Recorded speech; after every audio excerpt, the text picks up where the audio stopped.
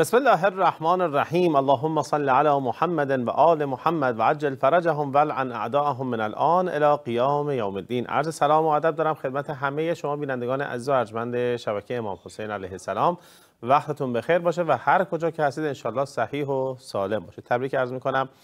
شب میلاد با برکت آقای ما محمد باقر علیه السلام رو خدمت خلف صالحشون آقا بقیت الله العظم روحی بر بحال العالمین لتراب مقدم الفدا. خدمت تمامی مراجع ازام مراجع عدولی که با تمام وجود و با داشتن دغدغه دین و مذهب همه چیز رو عمر شریف خودشون رو حتی گاهن برخی از مراجع آبروی خودشون رو فدای دین می‌کنند و هیچ چیز رو با دین معاوضه نمی کنند تبریک میگم خدمت این بزرگواران و خدمت همه شیعیان و عزیزان و محبان اهل بیت احسان و تهارت که در این ایام با شادی و سرور اهل بیت احسان و تهارت شاد و مسرورن. اجازه بفرمایید یک بار دیگه برنامه سرزمین عشق رو شروع بکنیم و تقدیم حضور شما بکنیم 45 دقیقه فضای کربلای معلا رو. 45 دقیقه بحث و گفتگو راجع به ویژگی های مشترک بین قرآن و اهل بیت اسم و طهارت با حضور گرم و ارزشمند استاد گرانقدر جناب حجت الاسلام و المسلمین سید مهدی حائری قزوینی که افتخار داریم در استودیو در خدمت ایشون باشیم. از طرف خودم و شما خدمتشون عرض سلام و عرض ادب دارم. حاج حائری سلام بندر سلام علیکم. عرض سلام و ادب خدمت شما و همه بینندگان عزیز و ارجمند و با عرض تبریک میلاد فرخنده حضرت امام محمد باقر علیه السلام به محضر شریف مولامون صاحب الزمان عجل الله فرجه الشریف و سرور و سالارمون آقا حضرت امام حسین علیه السلام انشاءالله که این سلسله مباحث مورد عنایات آقا امام زمان بوده باشد انشاءالله. الهی آمین. انشاءالله. خیلی ممنون. اگر اجازه بفرمایید همچون شبهای گذشته امشب هم زائر آقا امام حسین علیه السلام. باشیم به نیابت از بینندگان و بعدش ان وارد بحث بشیم. بفرمایید. السلام عليك يا مولاي يا أبا عبد الله السلام عليك يا ابن رسول الله السلام عليك يا ابن أمير المؤمنين السلام عليك يا ابن سيد الوصيين السلام عليك يا ابن فاطمة سيدة نساء العالمين السلام عليك وعلى الأئمة المعصومين من ذريتك وبنيك السلام عليك وعلى المستشهدين بين يديك السلام على الحسين وعلى علي بن الحسين وعلى أولاد الحسين وعلى أصحاب الحسين ورحمة الله وبركاته. السلام عليك يا مولاي. يا أبا الفضل العباس السلام عليك يا ابن أول القوم إسلاما وأقدمهم إيمانا وأقومهم بدين الله وأحوطهم على الإسلام. السلام عليك أيها العبد الصالح المطيع لله ولرسوله ولأمير المؤمنين والحسن والحسين. السلام عليك ورحمة الله وبركاته.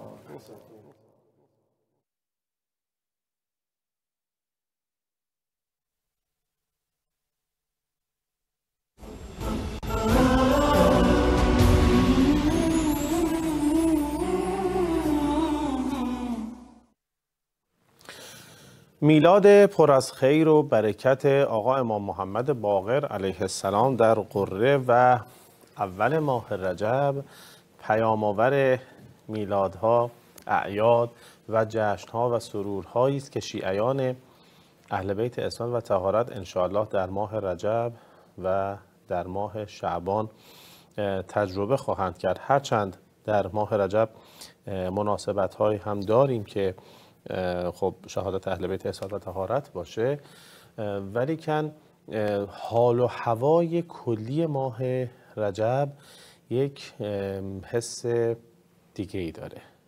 بالاخص با میلاد با برکت آقا امیر مؤمنان علی بن ابی طالب علیه السلام که در این ماه واقع هست و ماه بعد از اون که ماه شعبان و ماه حقیقتا سرور و شادی اهل بیت اسلام و تهارت هست یه حس و حال ولایی دیگه ای داره این دو ماه و انشالله امشب با گوش فرا دادن به مبحثی که حاجای حائری انشالله قرار هست برای ما باز بکنن شاید بیشتر متوجه بشیم که ماه رجب چقدر ارزش داره.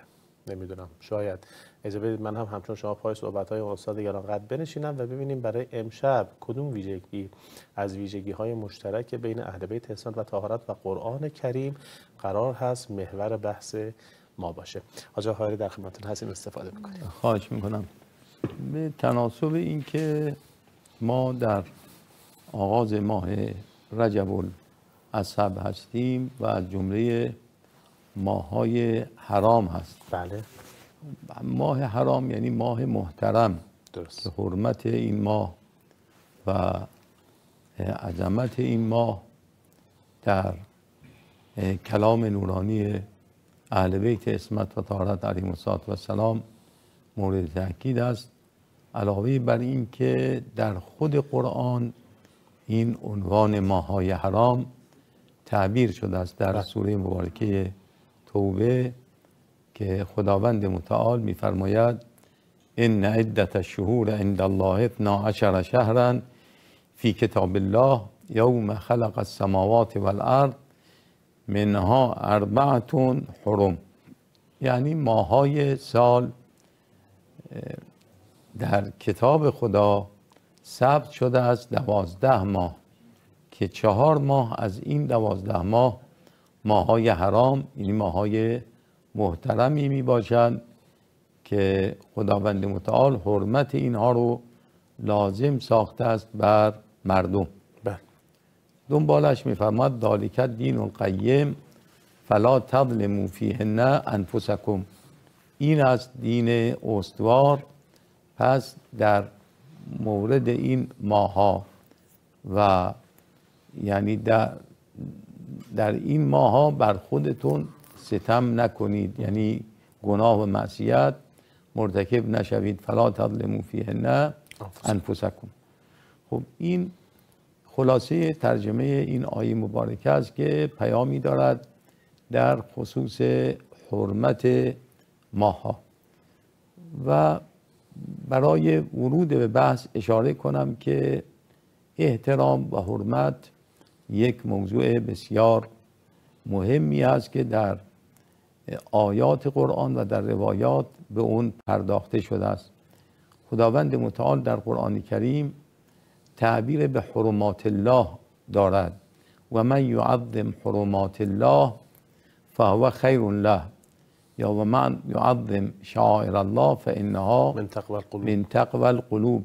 من یعظم حرمات الله که در آیه دیگر تاکید شده کسی که حرمتهای الهی را اهمیت بدهد و تعظیم بدارد حرمت اینها رو نگه بدارد چون این کاری خیر اوست. یعنی خیر هر کسی است که حرمتها را نگه بدارد و حرمت چکنی نداشته باشد. خب در اینجا ما چون بحث این شبهامون حرمت قرآن و حرمت اهل بیت علیهم و سلام است در خصوص حرمت قرآن و اهل بیت علیهم و سلام روایاتی وارد شده است که اینها از حرمت های الهی است که حرمات الله در احادیث است که مقصود این حرمت ها هست. که این روایات رو بعضیش رو بنده یادداشت کردم. برای بینندگان عزیز و ارجمند بخوانم بعد دنباله بحث رو ادامه بدیم. عن صادق علیه السلام. امام صادق علیه السلام فرمودند ان لله عز وجل حرمات ثلاث. خدای عز وجل حرمت های سگانه ای دارد لیس مثله نشی که هیچ چیز مانند این سه موضوع و سه مورد اینقدر احترام نداره. احترام اینا از همه بیشتر است. بله. اول کتابه و هو حکمت و نور. کتاب خدا که سراسر حکمت و نور هست. دوم و بیته الذی جعله قیاما للناس. بیت خدا خانه خدا که خانه کعبه باشه. بله. که خداوند متعال اون را مایه برپایی و پایندگی مردم قرار داده. میگه پایندگی مردم بقای این عالم و مردمان به برکت خانه کعبه است که خانه کعبه رو اگر احترام بگذارن ادامه داره زندگیشون و الا زندگی مردم به هم میریزه و از بین میره. سوم فرمود بله قیاما للناس لا یقبل من احد توجها الى غیره که از احدی خدا نمیپذیره که به غیر خانه کعبه توجه کنه و روی بیاره. یعنی در مقام عبادت عبادت، بله. که وظیفه مردم دنیا اینه که به سمت خانه کعبه توجه کنند و عبادت کنند. سوم و اطرت و نبیکم اطرت پیامبرتون. پس کتاب خدا و اطرت یکی اول روایت و یکی آخر روایت اینها بیان شده. روایت دیگر باز از امام صادق علیه السلام است در کتاب شریف کافی روایت شده. لله عز وجل فی بلادهی خمس حرم در این روایت فرموده پنج پنج مورد. مورد هست. از اموری که محترم است نزد خداوند. متعال. حرمت رسول الله. صلی الله علیه و صلی الله علیه و آله و سلم. احترام و حرمت رسول خدا صلی الله علیه و آله و حرمت و آل رسول. احترام آل رسول. سوم حرمت و کتاب الله احترام کتاب خدا. چهارم و حرمت و کعبت الله حرمت و احترام کعبه خدا. و پنجم حرمت مؤمن حرمت المؤمن. پس این پنج مورد را می‌بینیم که در حدیث شریف آقای امام صادق علیه السلام بیان فرمودند که اینها احترام ویژه‌ای دارند. بله. احترام خاصی دارند. و اینا حرمات الهی هستند که خدا حرمت اینها رو بر مردم لازم و فرض نموده است که اینها رو احترام کنند خب حرمت کتاب خدا به انواع مختلفی قابل انجام هست بله. یکی از اونها اینه که فقهای ما هم در کتاب های فقهی این رو مطرح کردن بیان فرمودن که دست بدون وضوع نمی‌تواند انسان به خط قرآن بزنه. لا یمسه الا المطهرون. که جز افراد پاک نمی‌توانند دست به قرآن بزنند. این یکی از انواع حرمت و احترام قرآن کریم. دیگر از موارد احترام قرآن کسرت خوندن اون هست. یعنی که قرآن رو نمی باید مردم محجور بدارند و اصلا قرآن رو نخوانند تلاوت نکنند قرائت نکنند که در یه حدیثی هست که پیامبر اکرم صلی الله علیه و آله و سلم فرمودن یک زمانی بر مردم خواهد آمد که لا یقرؤون القرآن الا فی شهر رمضان. مردم فقط ماه رمضان قرآن می‌خونن در ماهای دیگه بله قرآن رو کنار قرآن رو کنار می‌گذارن. قرآن نمی‌خوانند. پس حرمت قرآن کریم یکی از انهایش این است که قرآن خونده بشه تلاوت بشه قرآن در منزل اگر باشه خاک روی اون ننشینه غبار روی اون ننشینه. که در روایت هست که فردای قیامت چند چیز نزد خداوند شکایت می‌کنن یکی قرآن است بله. قرآنی که در خانه ای باشد و قرائت نشود اون لای قرآن رو باز نکنند و قرآن رو نخوانند پس یکی دیگه از موارد حرمت قرآن ساکت موندن هنگام قرائت قرآن است. بله متاسفانه باز اینا خیلیش متروک شده رعایت می‌بینید که توی. مجلس بله. فاتحه مثلا یا مجلس دیگری قرآن می‌خوانه کسی بله. و دیگران با همدیگه حرف می‌زنن. و اعتنایی نمی‌کنن که داره قرآن خونده میشه در آیه کریمه خداوند متعال میفرماد و اذا قرئ القرآن. فاستمعوا له و ام، انصات یعنی که با حال توجه گوش دادن گوش دادن به تلاوت قرآن به آیات قرآن وقتی که قرآن خونده می شود باید مردم ساکت باشند و گوش فرا دهند به خوندن قرآن کریم این هم یکی از موارد حرمت قرآن است بله. دیگر از موارد حرمت قرآن اینه که قرآن رو نمی بایست به اصلاح کسی علیاذ بالله مثلا نجس کنه بله. این حرامه و جایز بی نیست احترامی هر یا بی احترامی. مثلا به نحوهی به حتی خوندن قرآن در بعضی از جاها کراهت داره و کراهت شدید داره مثلا رفتن به موقع دستشویی الا آیت الکرسی آیت الکرسی تا و هو العلی العظیم اگر کسی در اون حالت هم قرائت بکنه اشکالی نداره در حالتی که شخص حالا در حالت جنابت هم هست اگر قرآن بله. اونجا هم کراهت داره. کراهت داره بله. یعنی این هم من باب احترام به بله بله هست بله اونجا به اصلاح مکروه بیش از هفت آیه کسی بخوانه تا هفت آیه مجازه مجاز بخوانه. ولی بیش از هفت آیه خوندن در حال جنابت یا خانم ها در حال حیض در حال نفاس داره. بله کراهت داره که قرآن رو بخوانند پس اینا از باب حرمت, قرآن و. احترام قرآن از قدیم بنده یادم هست که به حساب به ما یاد می‌دادن که حتی مثلا توی کتابخانهمون توی منزل.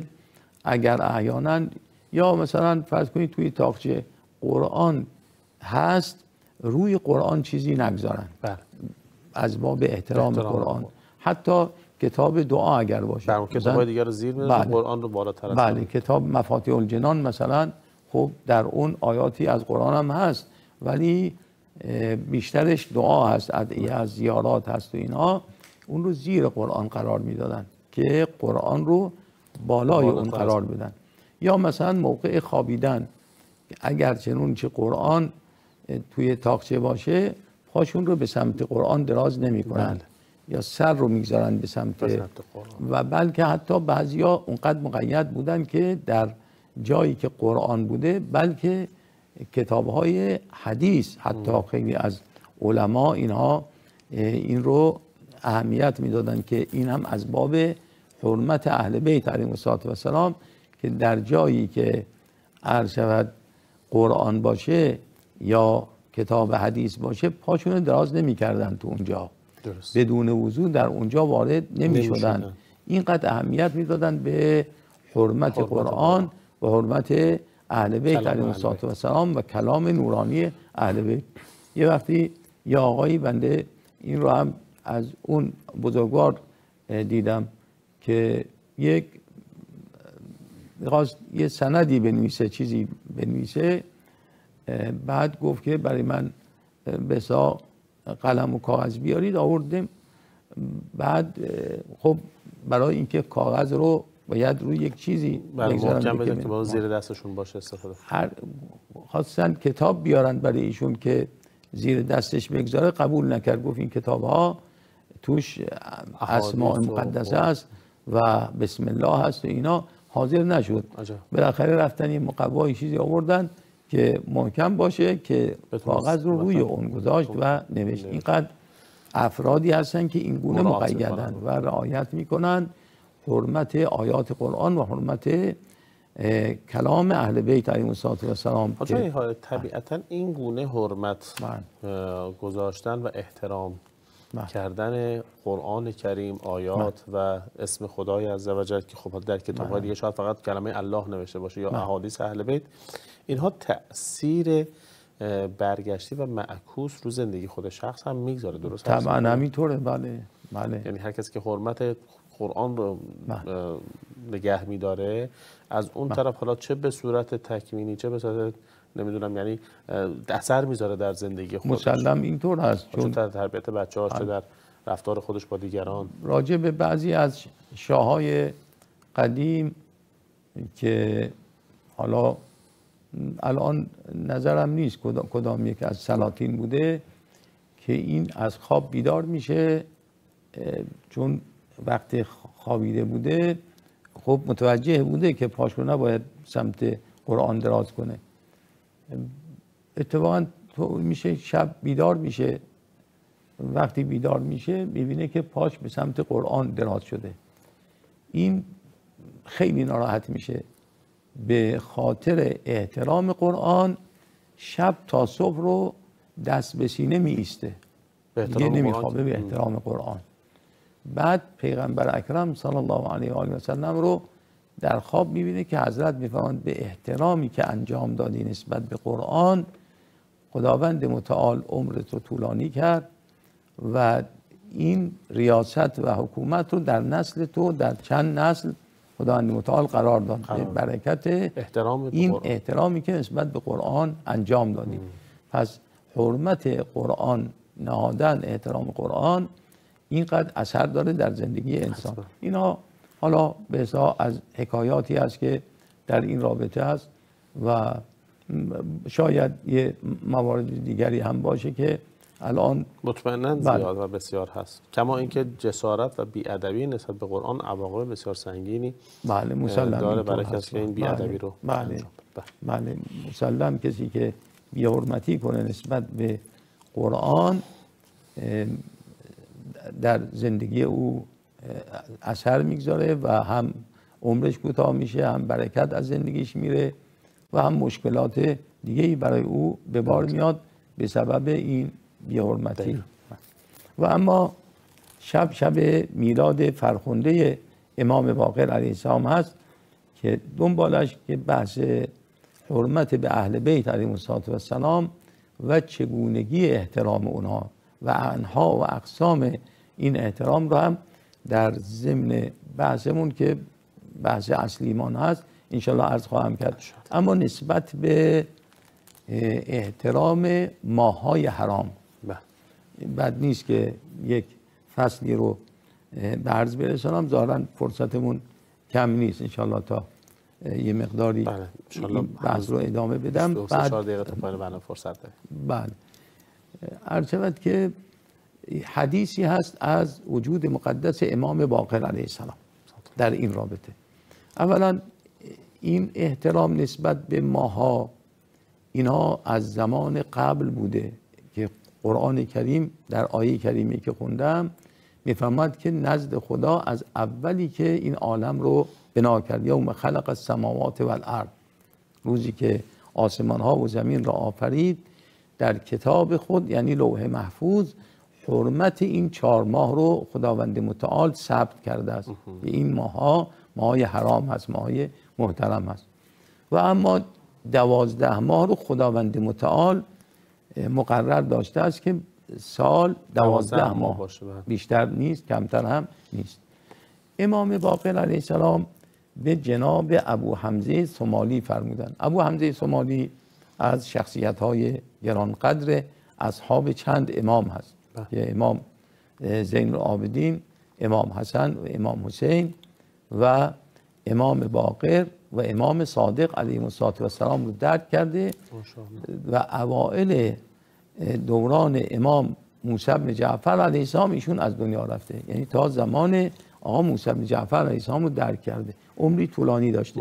حالا بعضی هم شاید احتمال دادن که قبل از اون هم یعنی زمان امیرالمومنین علی علیه السلام رو هم درک کرده باشه و اما اونی که مسلم است از امام سجاد به بعد چند امام رو درک کرده چند تا پسر هم داره اونها هم از محدثان برجسته هستن. چون بینندگان عزیز اسم ابو حمزه رو فقط شنیدن. بله. ولی فرزندانی داشته است. اینها هم جز محدثان گرانقدر شیعه بودند و اینها دارای آثاری هستند در تاریخ تشیع.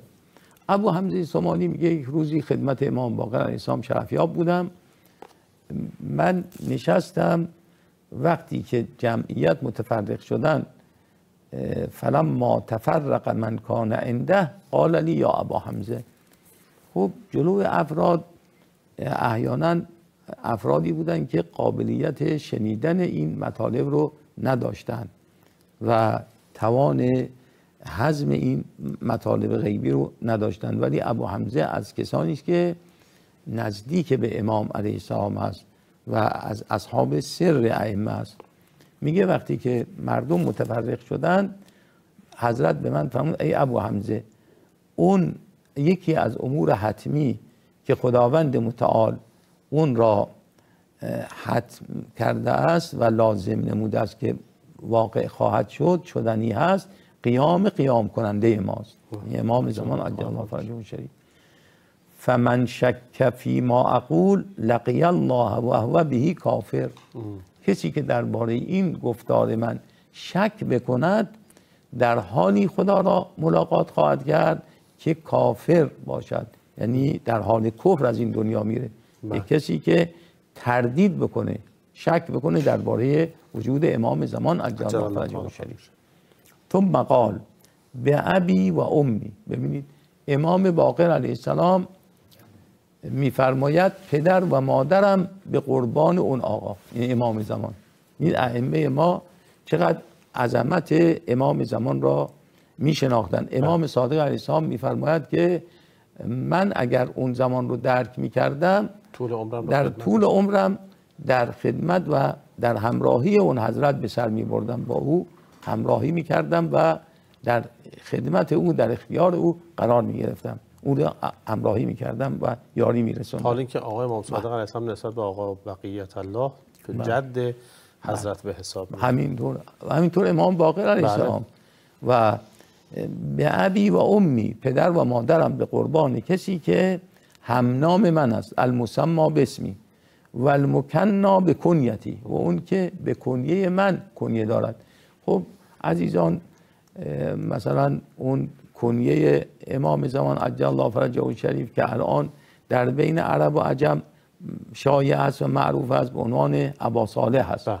ولی کنیه های دیگری داره امام زمان که در روایات اونها تاکید شده است که یکی از کنیه های حضرت ابوالقاسم است. هم نام پیغمبر و هم کنیه رسول الله. صلی الله علیه و آله و سلم. است.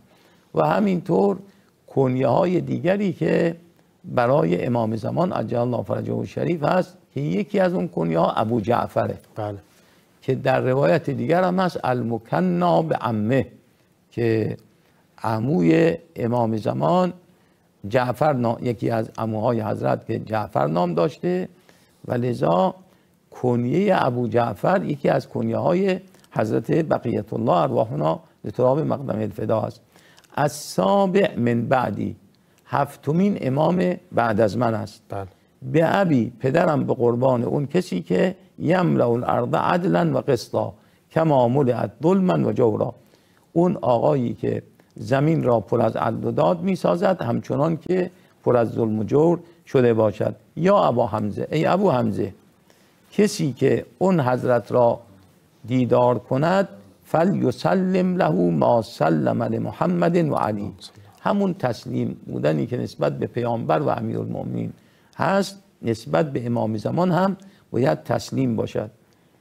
یا ابا حمزه فقط وجبت له الجنه من ادرکه فیسلم له ببخشید.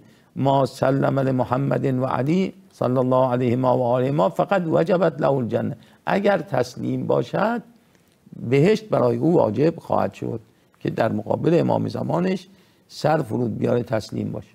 و من لم یسلم فقط حرم الله علیه الجنه بله. کسی که تسلیم نشود خداوند بهشت را بر او حرام می‌کنه. و معواه النار و بئس مثوى الظالمین. جایگاه او آتش خواهد بود که بعد جایگاهی برای ظالمین است. بعد حضرت فرمودن و اوضح من هذا به حمد الله و انور از این مطلب روشنتر و رساتر و نورانیتر برای کسی که خدا او را هدایت کرده است در کتاب خدا مطلب بیان شده است. و احسن الیک قوله فی محکم کتابه ان عدت الشهور عند الله 12 شهرا.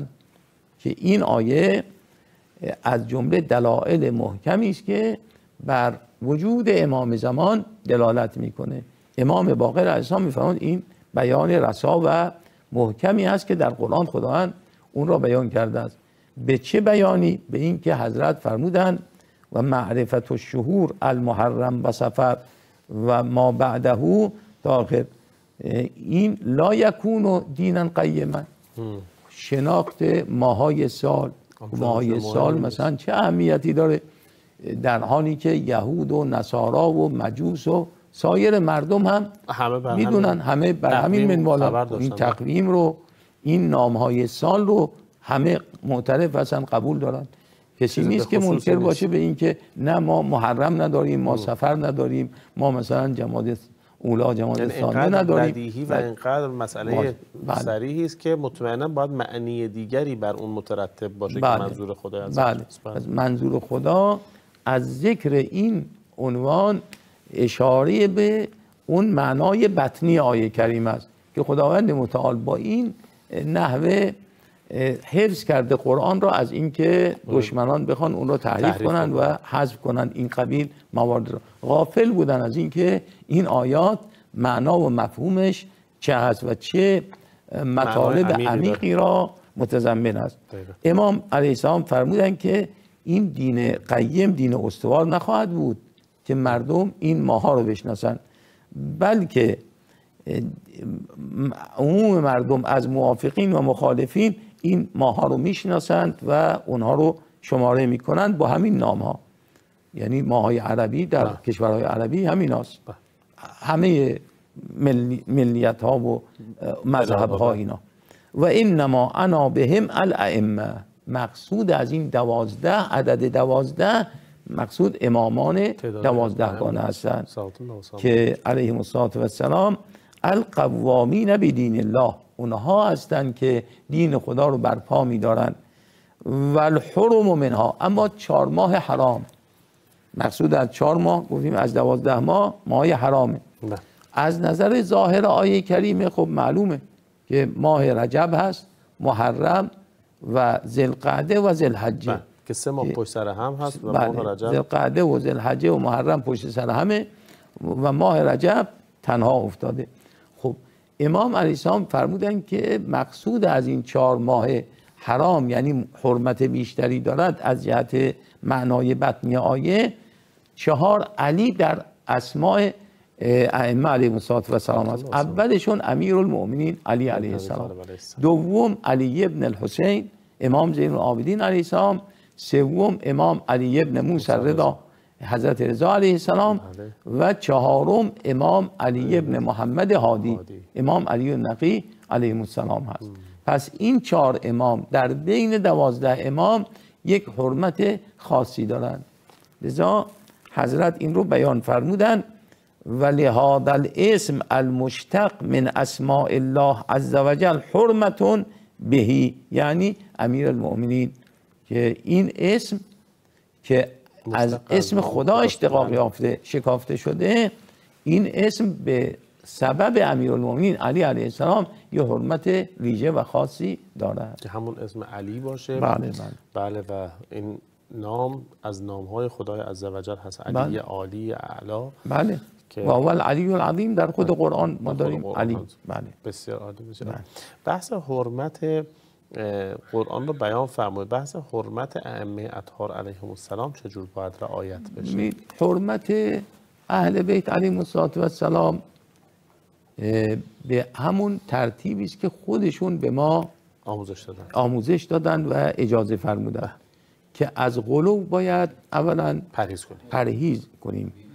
اموری که اینها خودشون نهی کردن اینها رو ما انجام ندیم. که نسبت به اهل بیت علیهم السلام یه مطالب غلو آمیزی بگن. اینها رو به مرحله خدایی بالا. ببرن علیاذ بالله به حالت پرستش. اینها حتی روایتی هست که آقا امیرالمومنین علی علیه السلام وقتی که به سوی سفین می‌رفتن بله. رسیدن به انبار. انبار یکی از شهرهای عراق. الان هم هست به همین اسم هم هست. و شاید بینندگان عزیز در اخبار و اینا احیانا این اسم رو زیاد شنیده باشن. باشن. بعد انبار اسم فارسیه. و این شهر شهر ایرانی نشین بوده است. اینا عجب. بله. چون که ببینید اه، کاه کسرا انوشیروان در مدائن هست الان. و مدائن پایتخت ساسانیان بوده درسته. یعنی اینها دو تا پایتخت داشتن در واقع پایتخت زمستانی و پایتخت تابستانی. تابستانی دو تا پایتخت برای ساسانیان بوده یکیش مدائن بوده یکی کرمانشاه بوده بله که کوچ می‌کردن در زمستان و تابستان به که. زمستان که اونجا سرد بوده می آمدن در به. مدائن و در تابستان می‌رفتن به کرمانشاه. پس این منطقه بغداد و نواحی بغداد اینجا ایرانی نشین بوده. در انبار که اینا ایرانی بودن دهاقین جمع دهقان. دهقان یعنی رئیس منطقه رئیس اون اه، به اصطلاح جا. اینها آمدن به استقبال امیرالمومنین علی علیه السلام. وقتی حضرت را دیدن ترجلو. اینا سواره بودن آها تا. حضرت رو دیدن پیاده شدن و خواستن که خودشون رو به خاک بیاندازن در مقابل امیرالمومنین علی علیه السلام طبق رسمی که در ایرانی ها بوده بله. که توی کتاب های فارسی هم هست که زمین. ادب را بوسید و اینا و امیرالمومنین سلام علیه به شدت اعتراض کردن. اعتراض کردن فرمود چرا این کار کردید و اسندوا بین یدی فقال علیه السلام ما هذا الذی صنعتموه.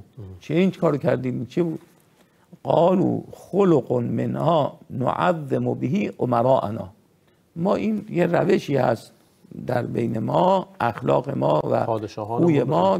این است که عمرا و بزرگانمون رو اینگونه احترام می‌کنیم. در مقابلشون پیاده میشیم و سر به خاک می‌گذاریم و در مقابلشون اینطور احترام می‌کنیم. بله. فقال علیه السلام والله ما ینتفع به هذا امراؤکم به خدا قسم با این کارتون به عمراتون منفعتی نمیرسون بر مثلا چه چه خاصیتی داره برای اون امیر برای اون بزرگ؟ که شما که شما مثلا در مقابلش سرتون رو بیارید پایین بذارید خاک. و این به چه دردش می‌خوره؟ و اینکم لتشقون بهی علا انفسکم. شما با این کار خودتون رو به مشقت میندازید می‌اندازید. زحمت که- و تشقون بهی فی آخرتکم. در دنیا خودتون رو به زحمت میندازید در آخرت هم به شقاوت میافتید چرا برای اینکه. شما در مقابل غیر خدا سر سجده تعظیم کرده کردید. تعظیم باطل انجام دادید و ما اخسر المشقه وراءها العقاب. چه بسیار بد هست و زیان آور هست. مشقتی که دنبالش هم عقوبت باشه کیفر باشه. نه از, از این طرف رونده از اون طرف مونده, مونده. بله. خسارت دنیا و دنیا. آخره و ما اربح الراحه معها الامان من النار که چه بسیار خوبه که راحتی که همراه اون ایمنی از آتش جهنم بوده باشه. خب این روش امیرالمومنین علی علیه السلام. حالی هیچ کجا اهل بیت اسلام و طهارت قبل خص آقا امیرالمؤمنین علیه السلام به شدت مقابله کردن با کسانی که حضرت رو در مقام اله و بله. ربوبیت بالا بردن اگر اشتباه نکنم و شما اگر حالا بنده رو بیشتر تاثیر بفرمایید یا راهنمایی بفرمایید بله. حدیثی داریم از اهل بیت اسلام و طهارت که میفرمایند نزلونا عن الربوبیه بله. و قولوا فی فضلنا ما شئتم خب این بله. از اون بابت شاید باشه که در فضل اهل بیت ما هر چقدر که فکر بکنیم بازم اونها بالاتر و فراتر از بله. فکر ما هستن ولی هیچگاه نمیشه مقام زوات مقدسه اهل بیت اسلام و رو با مقام ذات خدای عزوجل همینطوره بله. بله خب بعضی. افرادی که اینا احیانا مثلا نسبت خلق میدن نسبت رزق میدن به اهل بیت علیهم السلام در دو تا توقیع امام زمان به شدت حضرت انکار کردن این مطلب را و فرمودن که چون این چیزی درست نیست که به ما نسبت بدید. که ما خالق هستیم و ما رازق هستیم ما از خدا می‌خواهیم خداوند خلق می‌کنه بله. ما از خدا می‌خواهیم خداوند روزی میده حالا اگر خلق کردن مثل آنچه که حضرت عیسی علی نبی و آله اون, مفروغ عنه اون بله، معلومه خب اون. تو واضحه که ولی بله. من دون خدا بله، و به بله. غیر از خدا و بدون اذن و اجازه خدا بله. این اصلا بله اینطور هست درست است بنابراین عرض شود که اینها رو نهی کرد خود پیغمبر اکرم صلی الله علیه و سلم ببینید که حضرت راضی نمی شدن که کسی جلو پاشون بلند بشه. با اینکه خودشون برخواستن برای جعفر بله. وقتی که از حبشه آمد. برای حضرت زهرا سامنانی یا حضرت خودشون بر می‌خواستن و. احترام می‌کردن قام الیها. هر بار که حضرت زهرا سلام یا وارد می‌شدند بر پدر پیغمبر اکرم از جا بر می‌خواستند و به سوی حضرت فاطمه سلام علیها قدم بر می داشتن قام الیها. پس خود حضرت این کار می‌کردن ولی اصحاب رو نهی می‌کردن به ملاحظاتی. و رضا چون صحابه می‌دونستند که پیغمبر راضی نیستن لذا بر نمی‌خواستند وقتی حضرت می آمدن اما نسبت به دیگران حضرت این حرمت را تاکید میفرمودند که به اصلاح اینها احترامشون باقی بمانه و توجه مردم نسبت به اینها بیشتر باشه. لذا همونطور که عرض کردم یه مواردی از سیره و رفتار پیغمبر اکرم صلی الله علیه وسلم در احادیث و روایات آمده بله. باز یه حدیث هست از پیامبر اکرم صلی الله علیه و آله و سلم که در خطبه خودشون حضرت فرمون ایها الناس عظموا اهل بیتی فی حیاتی بله. و من بعدی ای مردم اهل بیت مرا چه در زندگی من و چه بعد از وفات من در زمان حیاتم و چه بعد از حیاتم. حرمت بنهید تعظیم, بدارید بله. و گرامی بدارید و اکرموهم و فضلوهم اونها رو برتر بدانید. فانه لا يحل ان يقوم من مجلسه لاحد الا لاهل بیتی لا يحل بله برای کسی حلال نیست که از جاش بلند بشه. مگر برای اهل بیت من؟ یعنی چی؟ یعنی وقتی که کسی وارد مجلسی میشه مثلا قیام کردن و برخواستن. کسی بلند شد مگر بله. برای اهل بیت البته این از از جهت حرمت نیست. یعنی این نهی نهی تشریعی نیست. بله. این نیست که مثلا حرام باشه حرام برای باشه. کسی انسان بلند بشه. بلکه گاهی مستحب هم از برخواستن. بله. این نهی از جهت تعظیم و تعظیم و تکریم اهل بیت بیشتر تعظیم و تکریم اهل بیت و مبالغه در احترام اونها هست چون در, چون در بله. مقابل همین مثلا اگر شخص پدرش بله. وارد میشه خب به بله. احترام در مورد احترام پدر و والدین چقدر ما در قرآن من عرض کردم اینا در روایات کنار هم باید بگذاریم. روایات دیگه دلالت می‌کنه برای اینکه گاهی واجب هست گاهی مستحب هست. برخواستن برای غیر اهل بیت علیهم و سلام هست اینجا برای تاکید این جهت است که اینجا استثناء برای اهمیت اهل بیت علیهم و سلام هست یعنی اختصاص اینها که قیام در پیش پاشون احترامشون و حتی بوسیدن دست اونها بله. در روایات هست اینا یا حتی پای اونها رو بوسیدن در بعضی از روایات ما داریم نسبت به اونها به طور خاص اما نسبت به دیگران نه.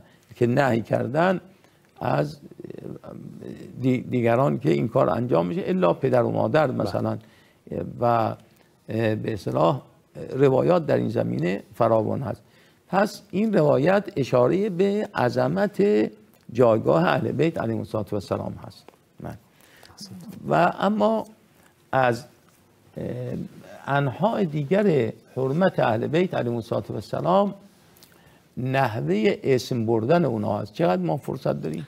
ما تقریبا اگر اشتباه نکنم وقتمون رو به پایان هست ما بله وقتمون شدیدا رو به پایان هست. انقدر من هم مشغول گوش دادن مطالب شما راجع به اهمیت حرمت به اهل بیت اسلام و تعالی بودم که وقتم از دست بنده رفت. اگر اشتباه نکنم یک دقیقه بیشتر فرصت نداریم. در یک جمله بخوایم نتیجه گیری بکنیم بحث رو و خلاصه بکنیم. اگر امکانش باشه بله. خواهیم شود که بحث ما راجع به حرمت قرآن و حرمت اهل بیت علیهم السلام بود به اینکه هم احترام قرآن و هم احترام اهل بیت علیهم السلام بر ما واجب و لازم است و انواع حرمت قرآن رو اشاره کردیم که دست بی وضوع به قرآن نباید بزنیم. در حالات خاص قرآن نخوانیم که کراهت داره و همچنین قرآن رو هر جایی که هست پا به سمت اون دراز نکنیم قرآن رو روی زمین مثلا نگذاریم و امثال اینا یه حرمت است که در عرفی هست در, در جامعه باید اون احترام ها رو نسبت به قرآن نگه بداریم نسبت به اهل بیت علیهم السلام هم که انواع مختلفی از احترام هست که یه فرصت نشد که اینا رو عرض بکنم به همین مقدار اکتفا می‌کنم. خیلی ممنون و متشکرم. الحمدلله الذي جعلنا من المتمسکین به ولایت امیر المؤمنین علی بن ابی طالب علیه السلام. آقای خاری واقعا من خودم زبانم عاجز از اینکه بیان بکنم. چطور؟ وقت وقتی که راجع به اهل بیت اسلام و طهارت صحبت کرد و حرمت اهل بیت حقیقتا من هم وقت رو از دست دادم. خیلی ممنونم. وقت واقعا دیگه نداریم. بینندگان عزیز و ارجمند از شما سپاسگزارم. از اینکه با ما همراه بودید. التماس دعا و یا علی. مهر تو ای حسین جان از دل کشد زبونه. مرغ دلم به سویت پر می‌زنه شبونه. پر می‌زنه شبونه. مولای من حسین جان. آقای من